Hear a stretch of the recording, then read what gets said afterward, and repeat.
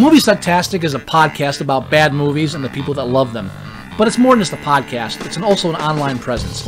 If you want to know more about Movie Sucktastic or want to become a part of Movie Sucktastic, you can find us on Facebook, you can find us on Twitter at Movie Sucktastic, you can find our blog at boothreviews.blogspot.com, or if you want to give your own reviews that we might use on the show, you can go to reviews.moviesucktastic.com and check out our, our own little lunch.com community for Movie Sucktastic. Check us out and become a part of the show because the only thing more fun than a bad movie is sharing it.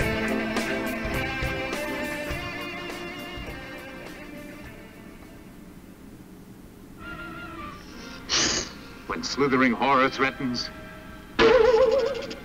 when assassins narrow their sights, when terrorists strike.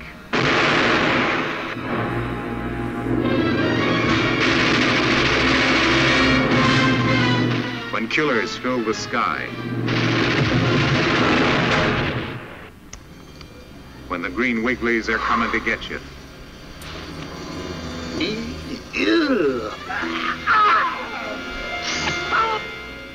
When you're all doomed to die a horrible death. We're all doomed to die.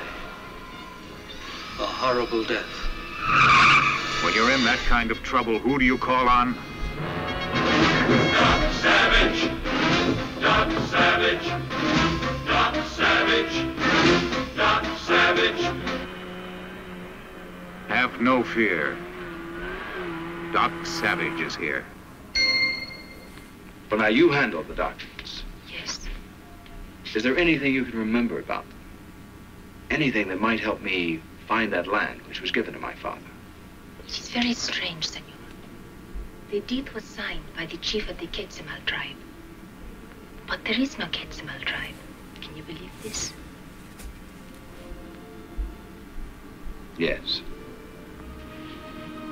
Yes, I think I can. My father got there. Somehow I must get there too. But it may take days to get there. You've brought us this far, Mona, and I thank you. I love you. Mona, you're a brick. Champagne. No, thank you. Uh, perhaps something a bit more potent. Uh, I'll have a Coke, please. He's noble and strong.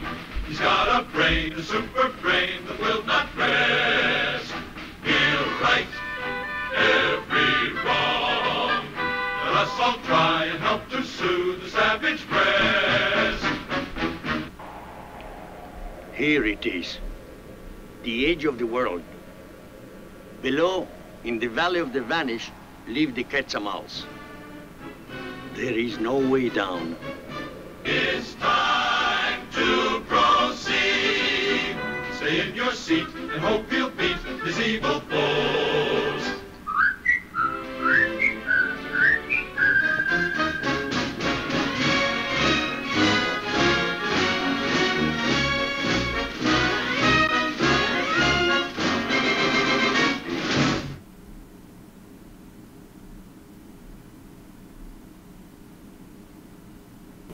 You are listening to Movie Sucktastic.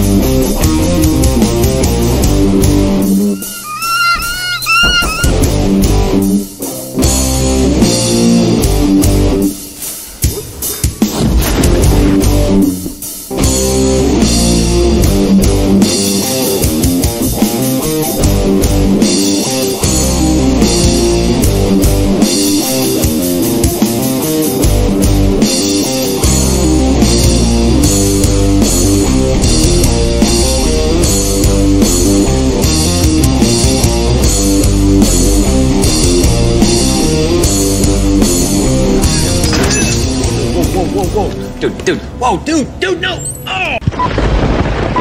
And we're back. We are back. Where, where have you been? You know, I uh I try. I try to get like a 30 second like TV spot. You know, I do. And there Not was no. No. The only one that I found was a TV spot for TV, not a theatrical TV spot. Right. I didn't want that. So the only thing I could find was like this super long three minute trailer. I'm like, you Well- don't you don't have a minute, minute and a half. It's got to be three minutes. It's basically the whole movie. We don't have to review this thing. We're done. Well, well, we're, we're finally here to this part. Then, welcome to Movie Sucktastic, uh, the podcast that really just doesn't know when to shut the fuck up. Yeah. Uh, that is Joey. Uh, our Hi. uh, and and I am. Don't if if you're watching our video podcast, don't panic. I am not a protester from the Capitol building. Uh, this is just lovable Scott. This is lovable Scott. Yeah. Don't That's- don't don't, that's don't let the uh, don't let the beard scare you. Yeah, that's right. You know, it's It's coming off soon. Don't worry. It's interesting. Like, if it's coming off that soon, it's only going to be around for us, maybe three or four episodes. Oh, I, I'm having mugs made with, with, with this on one side and me like fully shaven on the other side. Oh yeah, that's a Oh, good yeah. idea. I like that. Before coffee, after coffee. You know. But yeah, I mean, you've been growing the beard for ten months, and we've been gone that long. I uh, we- we've been gone a few, a few couple a few months. I, yeah, you're right. Yeah. No, th- everything is time stamped. There, there's no sugarcoating this. We, we've been gone that long. Well, a lot of shit's been happening. no, well, no, I mean, like you're down in Texas. I know that you've been down there, but it's we're all working from Central. home. Yeah, that's right. We're all working from home. Uh, the, world is crazy. Um, we kind of took some time off to just kind of figure things out. You know, so Not about this. no, no, Anything th- else. no. We're th- th- just waiting. This is exactly the same as it was ten months ago. We we we we did our first episode since March last week, and I had the exact same audio problems. I actually had worse audio problems.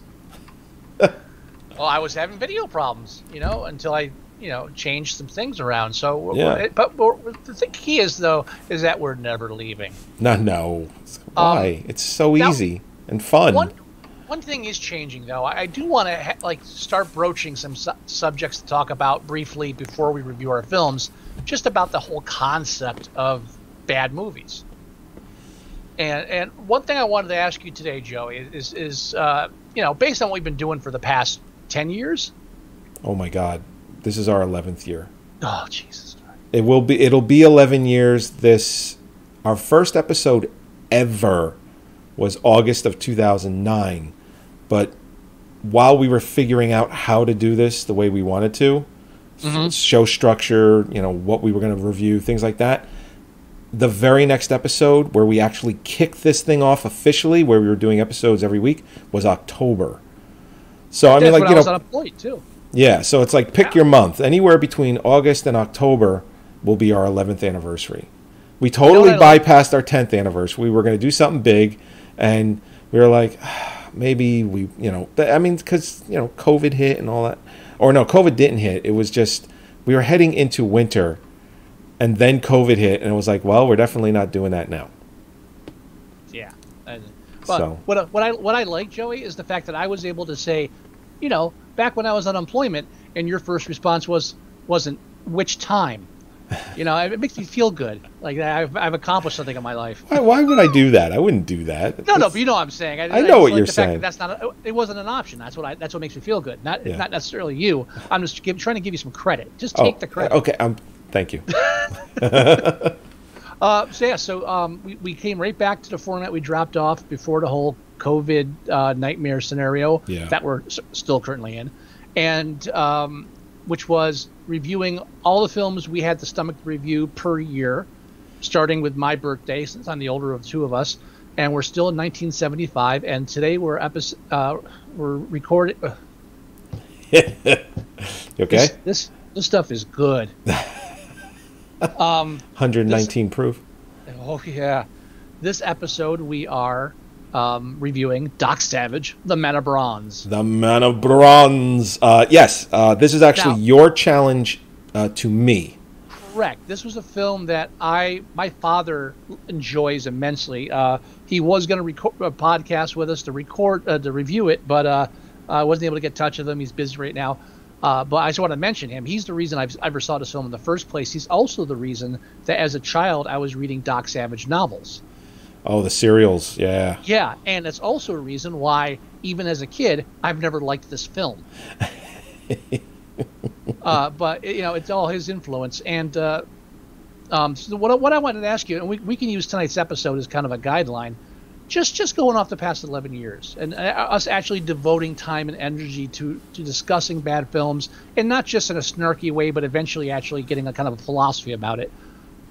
What would you say are s- some of the major main indicators that you would qualify as what makes a bad film? Well, this movie has it all. I, I mean, well, like this movie has some specific ones. The- yeah, the- no, I mean- this, this is like the like the prototype. Okay, uh, everything. I, I would say the Hollywood prototype. well, yeah, it's a Warner Brothers film, and you know they're actually trying to remake this, which I think is a smart idea. Actually, Yeah, definitely. I'm all for it. I think The Rock is supposed to play Doc Savage. l- Perfect. last I heard. So Perfect that. Um, but uh, the you know saying the acting is one thing. The overacting definitely puts this in that uh, qualifying right, uh, bad now- film. The But- poor special effects.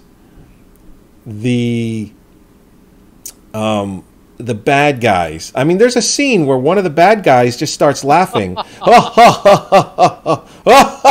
like, and it's not a joke.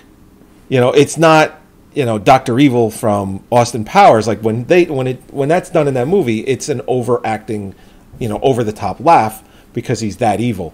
This guy does it. that's it's not a joke. It's Also, it's but it's what right. it is. First of all, I just want to say you're comparing a, a parody No, well, but what I'm what I'm getting film, at. So it's a different kind. But I- listen, I there's been plenty saying. of movies made where the evil villain laughs, and it's Right. you know it's not like this. Yeah. Now, I, I- I think a number of your statements can boil down into one main issue that I have with the film that I that I think I would qualify as a standard for what makes a bad movie, uh, and that is when you get these movies that tr- that go try to capitalize on a previous trademark, and in this case would be the Doc Savage novels from the 30s. But as we saw in the early days of superhero movies, like with uh, Batman, or I'm sure you can think of other ones off the top of your head, uh, and other similar similar. Um, Sure. Even take Flash Gordon, also a serial. yeah, uh, like and this. also that, Same that- time even though- timeline. even though Flash Gordon works 100. percent uh, I- the whole the whole idea is Hollywood will get these these uh, properties, and, and, and specifically for Doc Savage, like okay, here's a series of pulp novels that ran in like the 30s, 40s, 50s. I, I forget how long the run was, um, and uh, it has a huge base. All we have to do is make a film of it.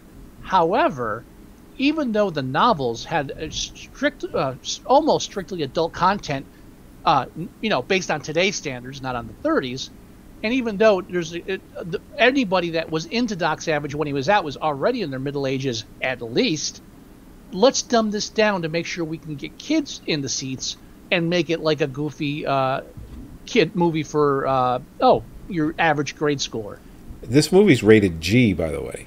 As I'm saying, so You know, although I don't know how. they didn't have PG-13 back then, so it, was either you know R or G. PG or It's G. 75. They had PG. I don't know how Right. this got a did not get a PG. Well, because they didn't want a PG. There's an again.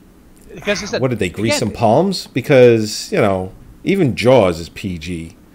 Well, that's why that's what I'm saying. It's like when Bat when they first took Batman, it says, okay, this property's been around for so long that the people that are that originally came up with it are already like senior citizens. Let's uh let's make sure we aim this to the youngest audience possible because this isn't for adults. Right. So, and they do the same thing with here. Now, I've read, uh, I, I'm not an expert on Doc Savage, but I have read several of the novels, and actually, I started rereading them recently. I just read I- uh, the first two. I've never actually seen this film until the till now, till we reviewed Were you it. familiar with Doc Savage? Yeah, I was completely familiar with it, but Okay. I, I've never gone out of my way to watch this thing. Now, I watched it with Holly, and the first thing she asked me was, "Isn't this based on comic books?" I was like, "No, there are comics, yes," but I had to explain the history. and She was like, "I don't care."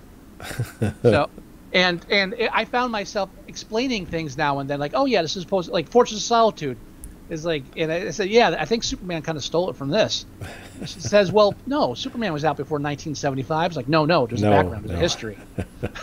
you know all this stuff but uh, it, it explaining this to her just really underlying the fact that like the now even the the base knowledge that I have of Doc Savage is like just oh let's well, for example the body count of this film. I just read Doc Savage the second Doc Savage that was ever published because there's the chronological and then there's the actual order. Um, he kills like five guys in the second chapter. barehanded, just breaking necks, twisting, uh, you know, just throwing people through brick walls. He, he did. He, he he- he has the whole rehabilitation thing, but when it comes down to fighting, he takes no prisoners.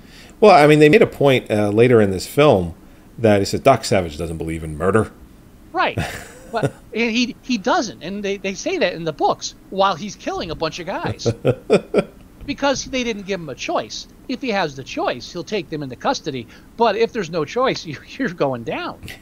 And it's there's a lot of fucking death, you know. And it's just it's weird. It's like that's the whole basis of the series. How do you get to this? And it's because it was it, you've got the novels that are filtered through the comic books that are filtered through just the uh, the marketing people, and then you filter it through corporate, and then they hired a screenwriter and say, "Do this." Oh, by the way, we don't have a lot of money for the soundtrack, so maybe you can find some pu- public domain shit. Right. So I mean, so I got sidetracked, but what what I'm saying is, is just the, the inability to to capture the tone of a property that already exists is usually a huge indicator of a bad movie. I agree with that. Sure. Yeah. A lot of the times it- it'll be kids stuff where they they like oh like like when they made um uh the uh, uh they did um fuck, the puppets Thunderbirds they did Thunderbirds Oh, right. it with, with live people and not puppets Yeah. what the That had Bill Did you- Paxton in that one, right? Yeah. Yeah. Did did you watch the show? Do you know why people still watch the show? It's not because of the lack of puppets. You know so I mean and I'm I, but I, I do think like again and a lot of it's all nostalgia stuff too. It's like they you know, I, I I know I've heard at some point people complain of like a Pokemon movie like changing the mythos or something weird like that. I don't get involved because those people are crazy but Well, yeah, something uh, happened in the second season of The Mandalorian where uh, that baby Yoda was okay was eating. I for, even forget the species, but it was eating its eggs, and the very next day it was like, and it's one of those things that you see where uh, it, it's along the lines of, oh, this actor used to look like this, and you won't believe what they look like now. It was along those lines, and it's basically just garbage clickbait, and all right it, it's just the same thing. I got to stop you though because st- all Star Wars fans are insane, and so it's not a fair comparison. My my only example of that is uh, the second Star Wars series. Ah, like, like the, the the first. What was the first one? Um, Well, the first one was Star Phantom Wars, Menace? Empire. Oh, you mean No, no. episodic wise? Yeah, Yeah. it was Phantom Menace, Attack Phantom of the Menace Clones. Revenge of the Sith. Phantom Menace, com- Menace comes out. The big cry. This is not like the old Star Wars. then the new then a New Hope comes out, or what, what was the new what was uh, whatever. No, it was Attack of the Clones was the second one. no the third series, the first of the third Oh, series. that was um, you had Force Awakens. uh, Force Awakens. That was I don't care. The first one. Force So- Wake. uh, Force Awakens. Yeah. Anyway, all right, Force Awakens. Yeah. So so when Phantom Menace comes out, oh, this is not like the Star Wars I loved. Then when Force Awakens comes out, this is too much like the Star Wars I love.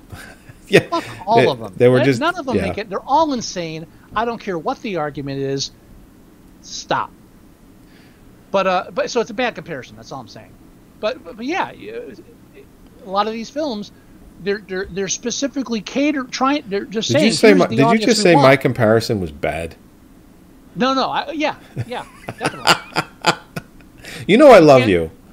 it's the only reason why I let you get away with something like that. Well, it's true. You can't compare to Star Wars mentality with like regular film mentality because it's a whole different ball game of crazy. I was just going with one scene and them complaining It's- about it. I was I was comparing one set of people complaining to another set of people complaining. Right, but the problem was one set of those people were Star Wars fans, and that's like that. That's like comparing normal hockey fans to Devils hockey fans. Wow. And, and by the way, by the way, I have to record tonight's game. Hockey is officially back. Today is the first hoc- Devils hockey game, and I'm recording it so I can do this. uh, all I know is I haven't I'm- watched hockey in 10 months. the other day i'm scrolling through a, a facebook feed of nothing but politics and death and politics in civil rights and politics. And then i cross joey with a picture of like a hockey play and just this. What the fuck is this? Who's watching hockey? What the fuck? I didn't even comment on it because I, I nothing I can say can express the disgust I have right now. um, no, that's all I'm saying. It's just like Star Wars fans, you're not going to please no matter what. But it's a good example. But it's but I think uh, thanks. uh, uh, well, unlike but Star Wars is different also because that is a uh, a franchise that has spanned this this time period. What I'm saying is these guys they take something that already exists as a fan base and says, okay, we're going to make a, something for this fan base. But the first thing we want to do is change it in such a way that the fan base that we're aiming for is going to be the most vocally angry with us. Yeah. It, it, it, it, it, it's insane how many times it happens. And this is a perfect example of this, of just try uh, somewhere between the idea of capitalizing on a previous franchise and capitalizing on it. Somebody fucks everything up by saying, yeah, the one thing we want to do is make sure that these people aren't the ones we're aiming for because that's not our audience. Yeah. And this movie is cringe inducingly bad.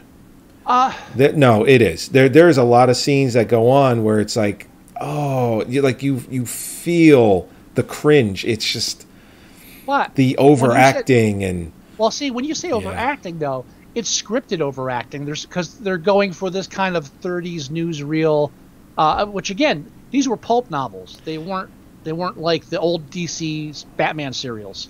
right. Not Well, DC, yeah. but the old Batman serials. Is that these aren't like the old serials from that time period. These were pulp novels, and they kind of treat it with the overacting like it's just like the same way that you would if you were re- redoing the old serials. You know what this it kind of reminded me of? It kind of reminded me of Anchorman, The Legend of Ron Burgundy. Like the way they go about I mean, that movie's obviously it's a parody and the overacting in that is done on purpose as well. But I I do- I don't know, man. How about I- this? I don't Compare- feel like I don't feel like the overacting was scripted here. I feel like it's On a perfect example. it's in the script, but it's just I don't know. I think when they did it, they didn't think like the lawyer, the Harvard lawyer. It's like I think he's playing it straight. I, I have two comparisons that are better than yours. Do you want to hear them? Yes. The Phantom and the Spirit. The Phantom Or- with Alec Baldwin, The Spirit with Samuel L. And let's, Jackson. let's throw the Rocketeer in for the win. Sure. I, I was But- actually just talking about the Rocketeer the other day. Th- th- They're all, but they all did the same thing. They they said, okay, they're from this time period, so every all the acting has to be campy because that time period was campy, even though most of the source material uh, that they're they're they're um, They're working from. that they're that they're working from wasn't campy because that's the mindset of that time period with action stuff says oh yeah it's like the rocketeer stuff. And, and even the rocketeer they they they missed the mark just because of, it wasn't Disney. the same kind of campy with that. But then with the phantom and it's like the, the, really this is not did you ever read a phantom comic book? Did you listen to the radio show? It's not this goofy. What the fuck are you doing? It's just it, it's again it's that mindset of okay this stuff we actually we obviously have to aim for kids who said that You know, Chris made me go see The Phantom in a theater. you want to hear what's worse sure. I went to see it at a drive-in with Doug. Oh, that is worse. Double feature with Clear and Present Danger. Guess which one I fell asleep during? Oh my god. Yeah, the Phantom. I, I wake up. It's like, why, why, why is there a bomb in the elevator shaft? I missed something. What's going on? That's ridiculous. Doug, why is your head in my crotch? That is not true. That is partially true. Yeah, par- all right. Oh my god. Yeah, at least at least well, I only had to go see one movie and I got to go to a diner first. and you know, popcorn and soda and candy and all that stuff. That was fun. But oh my god, the Phantom As long as they give so you candy, just do whatever they ask. Yeah, just can't tell my parents. Yeah, no, well, you know, it's not the conversation you want. Phantom's so Uh, fucking bad. Yeah, so I, I, I think like with Doc Savage, I, th- I think it's very uh, a very textbook case of Hollywood taking a property and totally destroying it, trying to mainstream it, and and they always do it with properties that weren't mainstream in the first place. It's like Right. let's make it main, let's make it mainstream. How do we do that? We have to destroy the one thing that people liked about it in the first place. Winner never works. That's And, all. So and you know what? I didn't know Paul Gleason was in this either. oh yeah. Don't say it like, yeah, everybody knows Paul Gleason is in Doc Savage. I forgot. I just I was like, oh man, Paul Gleason's in here. And he's kind of playing it straight. there were two times where Holly uh, recognized somebody in the in the film. Uh, ooh, pardon me. The first one was obviously Paul Gleason, but then hold on, and I got to look up. Uh, then then the the the character with the thick glasses. Uh, I forget if it's Renny or Johnny. Uh, Oh, those yeah. those are two background characters that always kind of just blend for me for the series. But the geeky guy, the archaeologist Wait, slash geologist, wasn't that Ham? whatever. No, no. Ha- Ham was the heavy chemist with the pig. No, that's that's. No, mm, Ham that's was Punk. Ham was the skinny. No, Ham Ham's was the guy lawyer. with the glasses, isn't it? No, that's the guy with the pin sense. The he's the lawyer. I'm talking about the the the archaeologist guy. Then it's uh, Johnny. Right, Johnny. So Johnny's coming on, and I, I don't recognize the actor. And Holly's like, I know that guy. It's like, really? The only other guy you know is the guy from Breakfast Club. You really know this guy? I said, yeah, I know. So I look Hmm. it up, and then I'm like, oh, he played a bank teller on uh, uh, uh, Prairie, Little House on the Prairie. Little House on the Prairie. Yeah, and Holly's like, oh, that's where I know him. He's the banker. Yeah, yeah.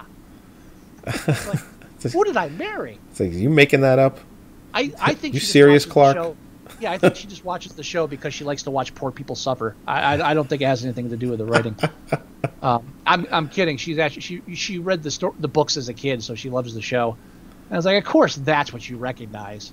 But oh no, she also recognized the the, the hairless guy that can't sweat from The Hills Have Eyes. Uh, what? Did you ever look at his hands? Uh, n- not intentionally. They're, it, it almost looks like the tips of his fingers were cut off. Probably from whatever illness causes him not to sweat. I guess. Yeah. You, you know, can't. yeah. Yeah. And then, uh, the other bald guy is actually he was a stunt man and he, he's been in a bunch of things. The other guy that was uh, one of the henchmen.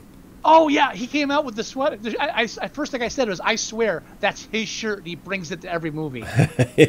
every film I've seen him in, I swear to God, he's wearing horizontal stripes. I would put money on it. That's Uh, his ward. He shows up the set and says, "I'm wearing this," and wardrobe doesn't complain. They don't complain because you get What- punched right in the mouth. What I like is is uh, when Doc Savage first came out, she's like, "Who's this guy?" I was like, "I have no idea. It's Ron Ely, whatever the fuck he was in." He's Tarzan. Yeah, I was like, literally, literally, yeah. There's no reason you should know who that is. Don't worry. He's the no. He's the star of the film. Yeah.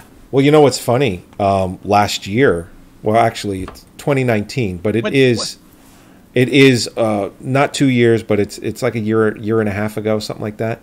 His son murdered his mother, or the the his 30 year old son, Cameron Ely, or something along those lines, murdered, stabbed his mother to death.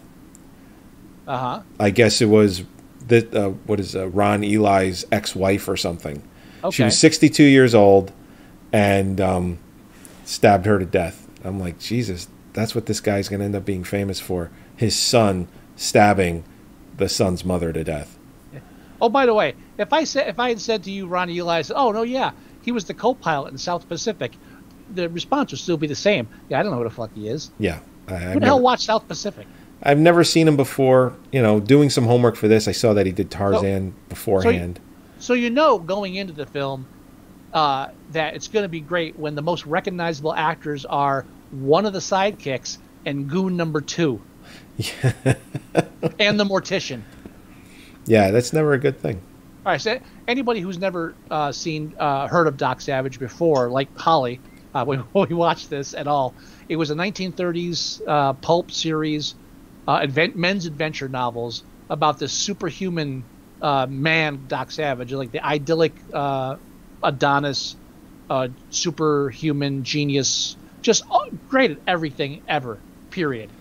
Well, Uh, and they and go through great lengths to uh, show you that in this movie. Well, as they do in the books, repeatedly. No- it's an ongoing thing. It's not just that's. There's a lot of parts in the movie that seem stupid until you point out actually that's faithful to the source material. But that was also like you know cringy. It was just like Oh no, it is. like yeah, when he pulls the bullet out of the wall as his shirt rips to uh, reveal his rippling muscles, and he's like, "Oh yes, it's uh, 1.5 grams." It's like what? Holly, the first thing she said is, "Stop! It's drywall. Cut it out." it was actually probably plaster, but it was still funny. it's still funny. Um, yeah, and he's actually been the archetype that sev- that most of these men's adventures uh, heroes has been taken from. He's like you know the, the one of the big ones. So and again, Fortress of Solitude, which I didn't do the research, but I'm pretty sure Superman comics ripped it off of Doc Savage Well, when were when did the first Doc Savage serial come out? uh, in the 30s. I can give you an exact. Because you know, uh, Action Comics number one, which featured Superman, and it might not have mentioned the Fortress of Solitude in that issue. I don't exactly know. Came out in what 1934, I think, uh, March 1933. and that's for Doc Savage Doc Savage, correct? and Action Comics number one. I thought you were looking that up. I don't Oh, know that God. shit. No, I just I just worked at a comic store. I didn't pay attention. That's your job. So, but, oh, June 1938. So, you uh, you know what? It Superman absolutely ripped off Fortress of Solitude because Yeah, there's I'm- I don't even even if it was mentioned in Action Comics number 1, Fortress of Solitude had 5 years to be mentioned in Doc Savage beforehand. Which you know it was. So, no, the Fortress of Solitude's been in there since the early episode issues. but that's what I'm Um, saying. Doc Savage. Yeah, That- yeah, that's so- what I'm saying. Right. Yeah. Uh, um, yeah, it was funny because I'm explaining this to Holly too. It says, yeah, you know, it's just like the superhero type character before Superman, but it's like you know, it's just like a really, it's like you know, the, the Ubermensch. The first action comic She's she's part. German. She knows what Ubermensch means. Ubermensch. And uh, so so later we're watching the boat sequence, and there's a scene where a guy shoots a, t- uh, a, a Tommy gun at Doc, and like it just hits his chest, and it's all black marks. Boom, boom, boom, boom. And, and Holly asked, in, in all seriousness, it's like, so is that a bulletproof vest, or is he just that awesome? And you know what's funny? Because I thought the was- same. I thought the same thing It was a because rational question. I was like, no, dear, but good point. because the next scene just shows him taking off the jacket uh, because he jumps in the into the water and he obviously he has like an oxygen tank that he puts in his mouth so he can breathe underwater. He's Where else taking would you put it? well, it's it's like it's at his waist. Excuse me. But the thing is, as he's taking off the jacket, there's no bulletproof vest in there. It's part of the jacket. It's probably he probably invented this. He's that's the thing. That's why they make a a, a point of, uh, in this time period when they do have fire extinguishers and there's a fire in his office. He's like, quick, get the the the what did he? I forget what he called them, like the the no flame balls. It was And the he- extinguisher balls. extinguisher balls. So instead of an, a actual fire extinguisher, they throw snowballs at it, and it, it's it's the it's this thing they go out of the way every book just like yeah he invented this and like he has this and that's why the the and the windows actual thing from the books it's built a certain way so that everybody looks like they're actually five inches to the left than where they actually are. And by the way, that's not in the first book because in the first book somebody takes a snipe at him and almost hits him. Oh yeah. I forget if it's in this. Yeah, I, or no, actually the second book that happened, so it definitely wasn't the first book. I You know, just it's started funny. rereading them, and I read the first and second book, so that's right now that I'm really strong on those two. At the uh, the end of the film, and you have a slide of it um, where it says, "And look for Doc Savage in the next, uh, ser- you know, next movie. The what is it? The arch enemy of evil." Yeah, Or something I don't think they were lines. actually naming the movie like like uh, Hitler on Ice. I think it was just like he is the arch enemy of evil. No, no, no. It basically said in. It, I didn't see the in part. You sure? Well, I have the I- I- slide. let me I'm just look. sure, let, let me look up the slide real quick. But uh, the thing is, I'm assuming they thought this was going to be more successful, They always assume. and Well, it also explained why Doc has his name on everything. And that was the thing that annoyed the shit out of me because he has a, he has his belt buckle. Every vehicle he drives has his name. Now the, the shape of his name that is the actual book cover uh, logo, Doc Savage. That's how it looked on the cover of all the books, the magazines, etc. okay, So they just took his logo and said, okay, obviously, this man who who is dedicating his life to furthering good and fighting uh, injustice and evil, uh, and is altruistic in every shape and form, obviously, he's got to be about making sure he has his uh, image out there. got You know, obviously, he's networking, and he's going to make sure he's he's probably incorporated too. Say, really? He's going to have an actual logo like that he has on everything and shows off because he's a modest man. So the slide says, Yeah. "Watch for Doc Savage's next thrilling adventure, the arch enemy of evil." So to me, that sounds like it's that's been named. I, I, I've heard it both ways. So, you know, just like this one is called Doc Savage, the Man of Bronze, I assume the next film would have been called Doc Savage, uh, the arch, enemy of evil. Okay, all right, I'll give that one to you. That makes more sense. So, All right. Yeah, I'll even put it on the screen for everyone. There it is. I read a headline somewhere that they're they're pushing this idea of Doc Savage in space, which means they still haven't gotten the fucking point. The man does study the stars and the universe, though. Well, yeah, and he also uses rockets to catch fish.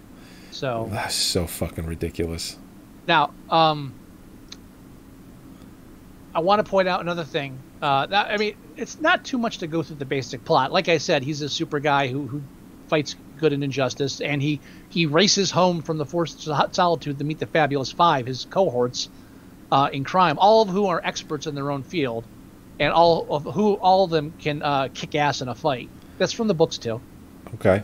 and because he sensed their he sensed their thoughts pretty sure that's not from the books and he fi- and he finds out his father has been killed in south america and i, I love when they cut to the portrait of, of his father and it's literally him with a mustache i was like "N- they weren't even like even from photoshop standards this is lazy as shit what I, I I included a screenshot just of that because how do you how do you ignore that? I don't I don't see the resemblance. I mean, your uncle. Uh, yeah. Ugh. And so that leads them on to an adventure to South America. Uh, there's poisonous uh, ghost snakes, uh, um, a Mexican in a Yeah, I, crib. I just put the slide on the screen just because we were just talking about it. Instead of waiting for it to come around again in the show, in the slideshow. And and this story is actually the first book or the first adventure of Doc Savage. It is true to the source origin in as much as he tries to track down his father's death in South America, and that's where he meets this tribe that has unlimited resources of gold. Yeah, and uh, you know, here, spoiler alert. Uh, at the end of the film, it's funny because they said it belonged to his father, and says now it belongs to you, Doc Savage. And he basically, instead of, and I'm kind of thinking maybe he's like, the land belongs to you, thank you, but no thank you. And he's like, thank you, with this amount of wealth that I've uh, now attained. said. That's what Holly said. she said the exact same thing, and I was like, "No, no. He it funds his operations to make the world a better place." She's like, "Yeah, but it's not his. He shouldn't just take taken the land." He's like, "Well, he didn't. He's not moving in." We we had a discussion about this. Just you and I probably would have the same discussion. He's like, with this with this kind of wealth, I can continue my studies and you know Now- the preservation of the of mankind. Now the villain, the guy with the with the uh, uh, rhinestone studded jacket Yeah. and the bad teeth, he, uh, you know, I don't know why the long face. He uh, killed Doc Savage's father, and he is convinced, uh, like the second in command of the tribe, the the elder's uh, pimp son. Um, eight, he, like I guess he would be the eight ball from Breaking Bad. Yeah, Oh, sure. okay. Um, Why not? I, I'm he's he's wearing a white suit. I'm going with it. And uh, so he's tricked them somehow into giving him the rights instead of Doc Savage, or he's done so because he killed Doc Savage's father, and he's trying to prevent this. And at one point, uh, now when when Doc Savage's guys get there and are immediately taken captive, I love what he says. So, you have found, you have discovered, the pool of gold. I was like, that's what we're calling it. You couldn't. you- That's the best name. Pool of gold. That that that's your big enigmatic. It couldn't have been something like you know the the fountain of fortune or say anything. But Well, hell, call it the Foundry of Gold, or I mean, like, call it something else. anything but yeah the pool of gold. Yeah, the mol- the molten gold over there. Yeah, that that pool of gold. I yeah I don't know why you're talking. Yeah, like when you say it like that, you're supposed to like give it the name. Right. like, oh, God, another swing and a miss. But, but um, the whole weird thing about it was, he, at one point he's arguing with the guy, and he's like, "You, you know, remove your father from from command. You have to take control. Do what I say. Do, don't you want to be rich? I'm going to make you rich." And I'm thinking, typical white man. He's like, "Yeah, give me the pool of gold, and I'll I'll make all your dreams come true." It's like, yeah, you know what most people's number one dream is is a pool of gold. What the fuck? How did he pull this off? they never go into detail. I'm like, what did he tell them they can get that's more that's more valuable than a pool of gold? I want to hear more about this plan. He, uh, I mean, they they don't need money. It's just- and they have a pool of. It's like, what wealth do you talk? Uh, you know, uh, they're, uh, you know, you're waiting for the other guy to go. Wait a minute, I've got a pool of gold. what do I need you for? Uh, typical white man. However, he got himself into that. Uh, if you tried to explain it on film, nothing they would have given you would make sense. But knowing reality, I believe it. well, sure. Yeah, so it's just that fucking crazy. Oh my god. Now, another thing that you might have noticed in the Mhm. movie was uh, every so often they'll focus on, on Doc Savage, and you'd hear this weird trilling in the background. Um, yeah. that was like his spidey sense. Well, in the books, Well, because you know what? Because when he's in the Fortress of Solitude, it happens, and Yeah. he and he comes to them, and he's like, "Yeah, I." Uh, what, what did he say? He was like, "I, I felt your, I felt I felt your minds basically. or yeah, Yeah. yeah, which and again, I don't remember that from the books. But uh, what? Bad, and again, this is bad translation of of a uh, the source material. In the books, they would describe, and it's easier to describe this than show it. I, I guarantee it's a hard, you know, it, it's really something hard. That, they should have forgive. They should have just like ex- dropped it. To be honest, Right. for the film, Oh, if yeah. they make a new one, they got to drop it because unless they unless they take the time to explain it, I think Shane Black is involved. Oh, he'll do it right. I'm not no worries. But in the books, what it is is he he does this whistling thing whenever he's in deep thought, like something something's clicking, and it's he makes the noise, but it always the book always goes through great expenses uh, extent to say if you were watching Doc Savage intently and focusing on his lips, you wouldn't have seen any movement and wouldn't have even thought the noise was coming from him. That's how un sub, that's like how unconscious he is of making this. Every time you heard the noise, you knew he was onto something. So they botch it, and now but they, they botch it and then keep it through the whole film. Like happens like four times, Yeah, and it's just one of those maddening things. Like, yeah, yeah, and and that's me knowing the source material. Polly's just like, what the fuck is that? It's like, don't even worry about it. I I can't even explain it to you right now. Just.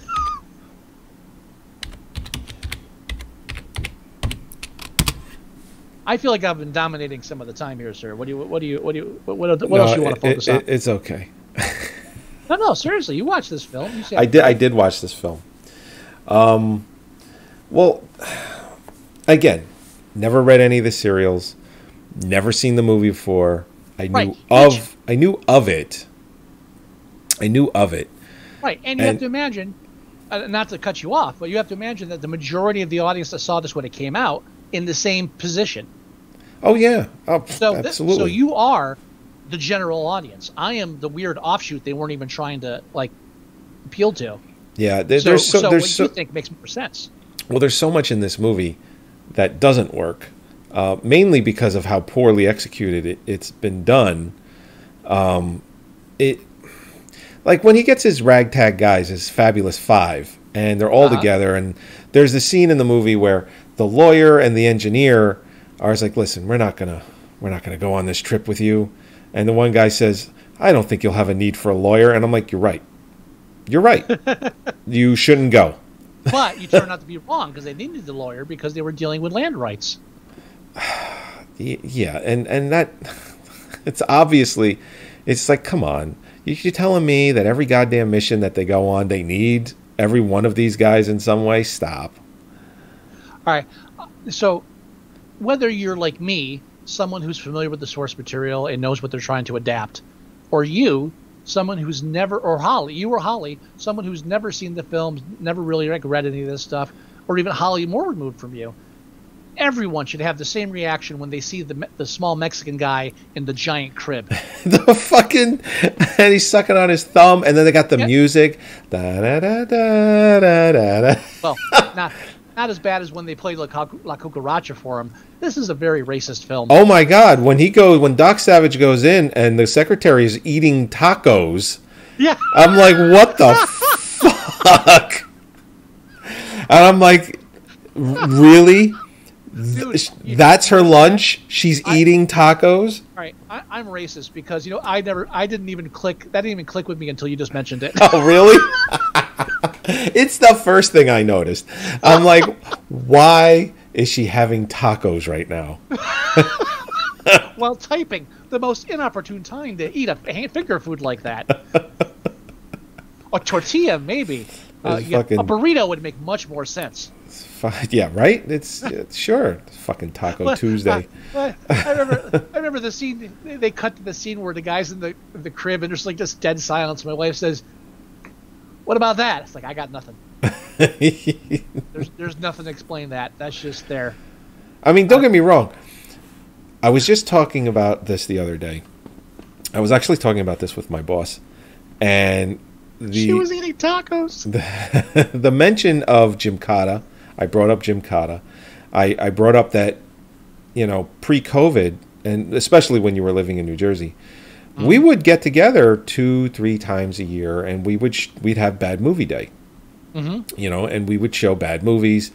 And I was telling him all about it, and I was telling him all about the one year we showed Tron, and the and the year we showed Gymkata, and I was telling him that I had to watch this movie, and I was like, it's like this movie here. It's a surprise to me that we have never reviewed this film before. Um, this would be a perfect bad movie day, like an outdoor movie to Oh, sure. force everyone to watch. This would be perfect. Yeah, Holly was surprised that this has never been like on MST3K or RiffTrax. Right? Like, no, no, this is just hanging out there. This is this is just gold through and through. Like there's a picture of the maid where she shoos away the other two maids for you know.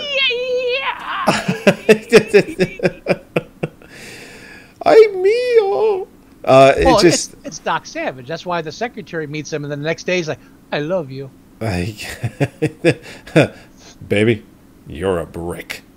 I gotta tell you though, he's got the best. He's got the best line ever for avoiding, uh, you know, any kind of uh, connections or ties. Say, What's- hey, you know, I live a dangerous life. I don't want to get you. in- I don't want to, you know, risk your life. I, I, I, I have to be divorced from any kind of uh, relationships like that. So I'll just plow you later, and that'll be the end of it. you know, it's just it's- can't put you through it. Can't do it. No. Uh, oh, also the, the the ripped shirts. The rip shirts, like there's the Okay. shot of him going swimming with the the tee. It's like why is that even why is he even wearing that? I, I specifically have one screenshot just because there's a nipple shot of his. Yes. I figured you can use that for the for the YouTube. Picture. uh, but yeah, yeah, the um, uh, the rip shirt is a thing where that's from the cover of the magazines and the books. Uh, every cover he's got a rip shirt because you know he's an adventurer. Right. So, so like the like the, I remember the beginning of the film. It's like, oh wait, what? His shirt's ripped already? It's like, no, it's a thing. It's it's a thing. Let it go. he has to rip the shirt at least twice. Come on. It's on the it's on the movie movie poster. It's right on the poster. Even it's just like the covers. I mean, that's just the thing. You Yep. know. Ah. I think it's the only reason they had him scale down that elevator shaft. Is there's a reason to rip it up. So if if The Rock ends up playing Doc Savage, do, do they give him hair? They kind of have to, right? Oh, they might if, if they're if they're gonna if they're trying to stick truer to the source material. Um, as, as you get further in, actually, um, a lot of the later covers, he wears this gold uh, bronze Like uh, cap? skull cap. Skull cap, yeah. And when he's not wearing it, he has like a buzz cut with the widow's peak right in the center, so the skull cap covers it. Oh, so they could So probably get away with him just being bald. They probably could, yeah. And, and I, I could see him rocking the skull cap, definitely. Okay. It's ridiculous. There's, there's just so much. Of, it just Uh, this is this is one of those films, and I, I've been wanting to do it forever. We've been wanting to do it forever, and you know what? I, this is this is the year we're going to do it. We're going to do some some new things with the show. I want to do a bad movie day, a virtual bad movie day.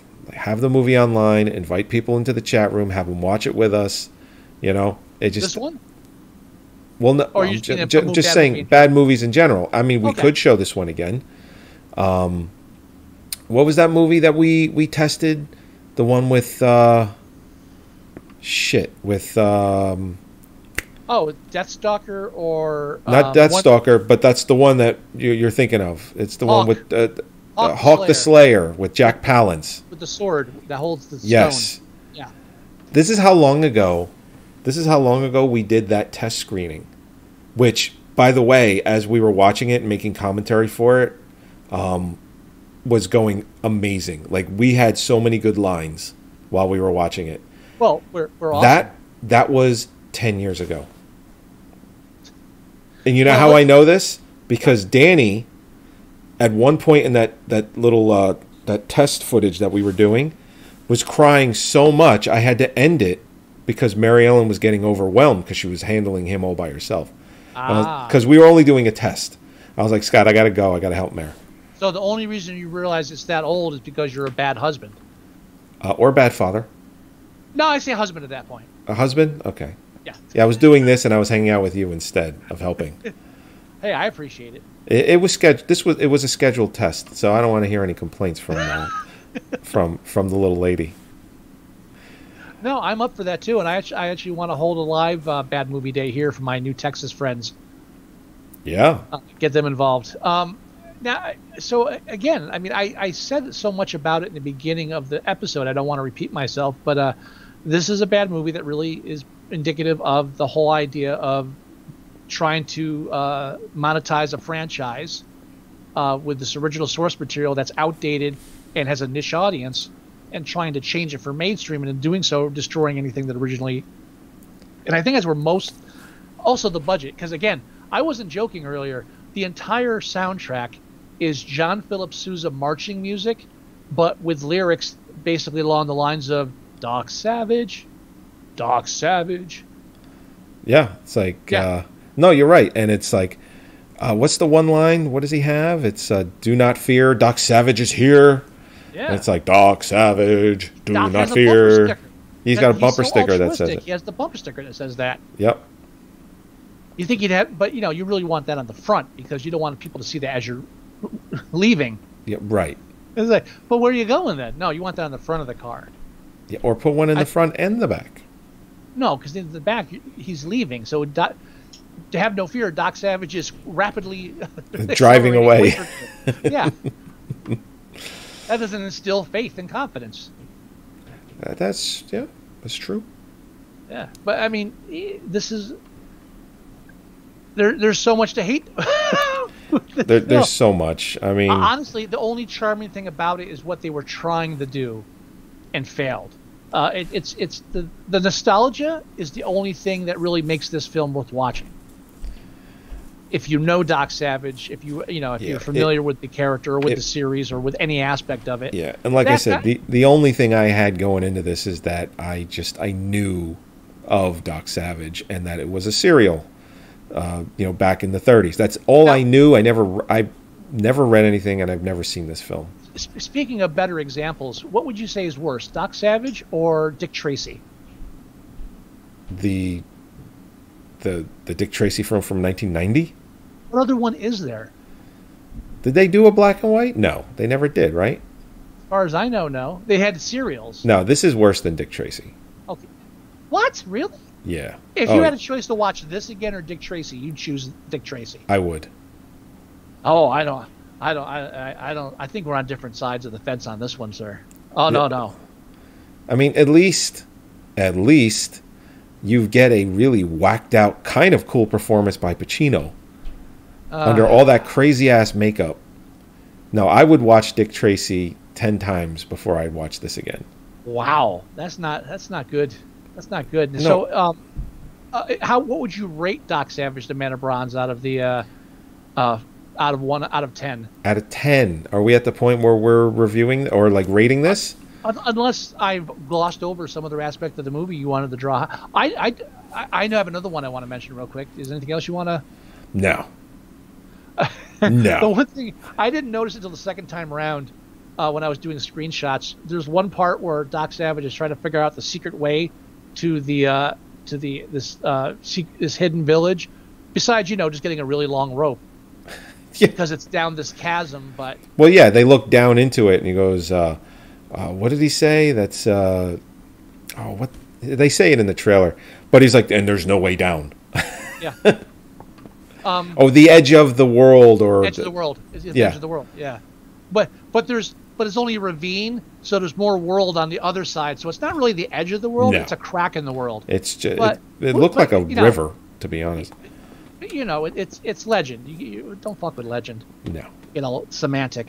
But so Doc Savage notices something on one of the, or uh, actually Renny notices something. Something. Tommy notices something. The names all blend together except for Monk and Ham. I'm sorry, I've never been able to remember who's who. uh, they find a rock, and Doc uses a little secret glass and exposes that his father left him a message on how to get down, Oh, and yeah. it's Morse code. And it didn't click the first time, but the second time he looks at this Morse code and he says, "Ah, it's lakathrempa lakalabalaga." It's this uh, rare plant that only grows in uh, Egypt or something. And I said, "Wait a minute! If you look at that Morse code, there's maybe six, seven letters there tops. Once you got the liker, like you're done. The message is that is not what he wrote. yeah, it He should. wrote look. He wrote like look down or don't jump, something like that. It definitely wasn't like the, the genus, genus and uh, phylum of a of a plant species. What was your other example? What your other uh, another film? Did you say Original? you were? the- Well, because Yeah, it was Dick Tracy. it was Dick, Tracy. Okay. Yeah. How'd you miss that? No, I thought you were mentioning another one other than Dick Tracy. I thought you were going to go into another film. No, I'm sure I could find more. I mean, I'm because, again, sure you could. Hollywood does this over and over and over again. That's why I also wanted to specify that I feel like this is a, an example of a bad Hollywood film. If this was a re- truly like low budget movie, and they went like the camp style, there's a different uh, there's a different level for that, and that you can forgive more for that. It's like we have nothing to work with here. Let's just have fun. This is this is stylized camp that falls flat. Right. So yeah, that's, that's why that's the only reason I specified Hollywood in the beginning. I wasn't correcting you. I Okay. just I just felt No, like no, no. That's fine. That's fine. Um, All right. So uh, if I'm giving, if I'm rating this uh, out of ten, Right now, IMDb is at five point six. right, and only only- se- seventeen hundred 1,700 reviews. people. Well, I mean, that's probably about as many people that has ever seen it. As I'm saying, yeah. Um, I, I think five point six is high. I think less than five would do would not do it justice. I would go with a solid five on this. I was thinking the same thing. This is like this is your standard run of the mill, good idea, bad production, or bad uh, follow through. Yeah, it's Uh, forget landing, forget sticking the land. They didn't even make it over the parallel bars. You know, they're just Right. they went right into the crowd. Yeah, it's probably almost a six for nostalgia alone. But then I would also knock off a star for John Philip Sousa. You'd take it all the way down to a four. Just be, no, uh, no, no. I, I, I Oh, you meaning like from a six to a five? Gotcha. six back to a five because of that. Six to me is almost is almost that it's good. I, that's why I think five is correct. I think five is is is a good. Yeah, I'm not even looking at the demographics. Everybody watched this movie is either too young or too old. Yeah. I don't know which one I am. So, well, now we're at the point of what I'm challenging you. Correct. Now, now we're on to your turn, and I think we still have quite a few movies in 1975. Oh, we have a ton. We're we're just you know I I, know I know I know everyone's thinking of it, th- thinking it. We're not getting out of 1975 because uh, the the way uh, again the way this works. Um, because listening to episodes should be seamless, no matter how far apart they are. The way this works is, we started in 1973.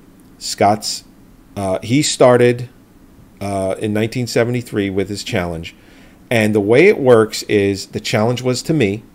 And at that point, I have a choice of staying in the year 1973 and challenging Scott, another film in that year, or I have the option to, if I felt we were done with 1973, challenge him a film in 1974. Right. So, just to give you an idea, we've been in 19, the 1970s for months. That's how many movies there are. So, I do not feel like we should get out of 1975. There's there's definitely a, a minimum of one or two that I feel like we have to review before we get out. Well, here's the thing. This is what's coming into play as far as what I'm challenging you. Now, I have the movie that I've picked. Okay. I have the movie that I've picked. But the thing is, um, we have an opportunity to review some good films as well. Oh, that's boring. Well, I mean, like, but I'm not just talking about um, good films. I, I'm thinking more along the lines of important films. You know, it's like we would do that with our old format. It would be like, you know what, we should review this because Yeah, that's what that's it's what Oscar time is for. well, not all the Oscar films are good, but I understand what you mean with that. and I agree. Um, So, all right. But what I'm getting at is we had there are films like Jaws and there are films like Dog Day Afternoon and they came out in 1975 and they are considered, you know, good films, Oscar caliber films. That's not what I'm challenging you to, but I'm saying we may want to consider going down that avenue because So you mean what? so you mean stuff better than Super Vixens? yeah. Okay. But what I'm getting at is we are steadily approaching the the now we're in this you know, mid 70s. We're steadily approaching in my opinion when Hollywood really took a turn. I mean, you got some real shit in the 80s, but you they took a turn for making much better films. Um oh know, yeah, there's and- a, there's an increase in quality in the 80s and 90s, definitely. yeah. So we're we're heading into that is what I'm getting at. It's like, do we do a film like Dog Day Afternoon, or do we just kind of leave it to the wayside? Doesn't I- always have to be shitty movies. It's like, do we want to explore Dog Day Afternoon because because of the type of film that it is, because it's so good? Do we find faults with it? You know, do do we review that a different Are- are way, you- or do we just kind of, you know, just like oodle over it because it's so good? Are you challenging me to Salo? Please don't challenge me to Salo. Oh, I'm not challenging you to that. at least not at least not this week. um, I actually was going to challenge you to um, Dark Star, but I realized that was a missed opportunity because it came out in America in 1974 and 1975. Hmm. So it was released in 1974, limited, and then it was released in 1975, I believe, in a wider range. But because it was released in 74, we're out of 74. Because I was like, oh, you know, Dark Star would have kind of been neat because it's it's space and it's campy and it's Carpenter. You know, it was the first thing he ever did. But I can't do it because it's the wrong year. hmm But I'm going with the next best thing. No, what? I'm going with Ilsa, She Wolf of the SS. Oh, No, that was a bait and switch. yeah, it was. I'm not even gonna have you guess it. I'm just gonna tell you what it is. Uh, so that came out in '75. I don't think It I did. that. Came out October of '75. I don't think I have it either. Hey, you know what? I believe it's a I- I'll favorite of Rob. Zombie. I, I owned all the Ilsa films at one point during my VHS videotape uh, collecting days, and I'll I'll be honest, I never watched any of them. that was one of the reasons I stopped. It was that and the cannibal films. I just remember one day going through my collections, like I have every cannibal film ever made. I don't want to watch any of these. What am I doing? Um, I never had. I've never seen this movie either. Um, I've seen a few cannibal films, and I and I watched it because it's like I like horror. I'm so, Oh, I'm so, few- I'm I've watched a few supposed to since, watch yeah. this. I'm supposed to watch this, but it's like I'm not really kind of digging it. Yeah, it's like, it's like make them die slowly. Yeah, I, I'm okay with reading. I've read about it. I've seen the pictures. I, I don't need. I- I'm sure I don't need to experience this in the flesh to actually like know what I'm talking about. Well, you know what's funny? Uh, now that you bring that one up, when I was a kid and I'd go into the mom and pop video store, it was uh, Palmer Video on Belleville Ave in Belleville, Uh-huh. uh, New Jersey. I'd go in there uh, with my father, and they would always have those boxes like "Let Them Die Slowly" and um, you know uh, "Zombie" and all that. It was the the really big display boxes. Do you remember Mhm. those? Yeah, Yeah, yeah. and they opened up like a like a book, and the VHS tape was inside. Yeah, I have my Death Wish four and my um, Die Laughing ones of that size. Yeah. Okay, so yeah, but and and the Let Them Die Slowly and movies like that always had like that red star or yellow star sticker or was part of the artwork that said banned in 37 countries. Oh, definitely Cannibal Ferox. Yeah. You know, I mean, like was- banned in famous. 57 countries. That always drew me to it. It's like I need to see this because. I'm told that I shouldn't. Well, we're we're from the Faces of Death generation. Yep. Uh, Oh, we yeah. were the prime. We were the prime market for for those films when they came out. Yeah, I mean, I watched even, the first couple. even Faces of Death is the same thing. Banned in you know X amount of countries. Yeah. How I'm do I not watch this? I'm gonna see if I can find the old box. Clickety clickety click. Clickety clickety click. Yeah, I, I do not have a copy of Ilsa, uh, which is on purpose, and and uh, I don't know if I'll keep it when I'm done watching. Oh, make Uh, them die slowly, not let them die slowly. no, yes, make them die slowly, also known as Cannibal Ferox. Yeah, it's a it's a yellow sticker, so I was right. I, my memory was either red or yellow, but it's yellow with red lettering, so I got kind of both. Banned in 31 countries. Warning: Make them die slowly. I, I even feel like I remember on the back of the cover it showed like the one chick with the spike coming out of her mouth. Um, let's see. Do they? Not not the whole thing because she was naked, but No, I, no, I no. feel like I feel like the back cover showed that. Seeing I mean, I'm- obviously it was in books and magazines I read too, but Yeah, I'm trying to see if they have a if they're showing the back anywhere. they got it. If they don't have the back cover, they're fools, fools and charlatans. Well, a lot of times they'll have um, it fanned out where you see the front and the back side to side, and they're not showing it. What the fuck? All right, I I, I, I can guarantee That you sucks. that if you're gonna make me watch Ilsa, Mhm. and uh, I'm probably gonna have to watch this with Holly, so Well, that'll yeah. be fun. Um, but if you're gonna do that, you're definitely getting an Argento hit t- next week. Uh, any Argento in '75? Yeah, Deep Red. Oh yeah, I did see that. I was thinking about challenging that to you. And I'll make sure that you have the the uncut version. The- uh, yes, of course. Yeah. Uh, I guess we're far away. It, funny to think at one point I was thinking uh, I was thinking of um, challenging you to the strongest man in the world, or Escape to Witch Mountain. Like you know, it's a Disney film. Now we're now we're on fucking Ilsa. See, you did this. I It's did. You. I'm sorry. You did this, Yeah, I'm not sorry. Not sorry. How's that? bastard. There's no back cover anywhere. What the balls? Uh, we'll just have to get a copy of it. That's not cool. Not well, when I do um, the slideshow, don't worry. I'm gonna get as many posters as I can. Bad. We're not doing that film. We're doing Ilsa. Well, oh yeah. When did Make Them Die Slowly come out? I don't remember. I, to- I I feel like it's 81. But, it's, uh, oh, we got a way to go before we do that. Yeah, and let make them. I'm pretty sure I have a copy of it. Except I probably have it under Cannibal Ferox. Yeah, Cannibal Ferox. I was right. 1981. 81? Okay. Yeah. Well, we'll get there before you know it. We'll get there before you know it. So that's your challenge, sir. Oh, you bastard. Tingling. Ilsa. Uh, I love that. There's that snapshot of him tingling. that's the, that's what we were talking about before. It's like I've I've read your mind.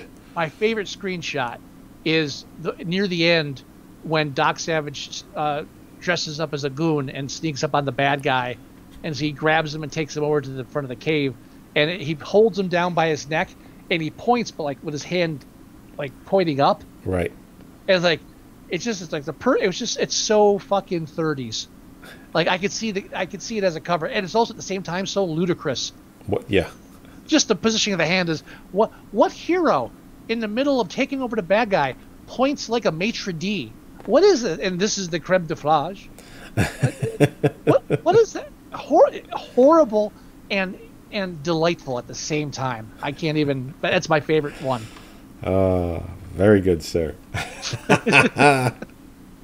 How, how long how long has the show been going? Um, we're at, it was shorter than last week. We're an hour and twelve minutes Wow, we're getting better. I mean, a solid hour I think is more than anybody should be expected to for take. Doc Savage. Yeah. I, I, yeah, I think anything except a double feature, we shouldn't be. We, sh- we should stop Yeah. Unless we're like belaboring the point. uh, unless we're like so in the groove, you know, there's no Oh, yeah. reason to go for more than an hour, hour fifteen. Oh yeah, those are the best shows. They happen. They have, yeah. Yeah, I think if if you if you look at it, be one of those shows. uh, no, if you look at our entire resume of episodes, because this is episode three hundred and twenty-seven, um, and if you took the average length of every show, we are a ninety-minute show. That is Mm. our average runtime is ninety minutes. Oh yeah, because we got- I'll- we got shows that are two hours, two and a half hours, but most of them, our average, it's 90 minutes. And I'm willing to take partial blame for that. Yeah. Like you said that you were talking quite a bit during this episode. You were. I, I And, apologize. and, and it's not your fault because I was allowing it to happen. Because I'm like, I'm just You let him, this. I'm, I'm to let him run. I'm to let him go. Because I don't have that much to say about fucking Doc Savage. Yeah, you know, and I, I kind of knew that too. I, that's why I, I felt like I was coming in like a heavy hitter. It's like I got, I got the, I'm a, I'm an ex, I'm a pro at this, man. Yeah, Doc. Like, here's another thing for you. When they get on the car Yeah. and he stands on the running Oh, board. when he stands on the board, that was I love that. That's That's, probably my favorite shot where he's like his hand is pointed in that way. Yeah. I love that. And I was just like when he gets on there, I'm like, you know, I want to do that. You know, I bet that great- would be fun. What's great is, is they explain in the book that there's two reasons he does it. One is because he's more comfortable there, but two, that that tra- it always helps to slow down traffic because everybody stops to look at him because he's so awe-inspiring.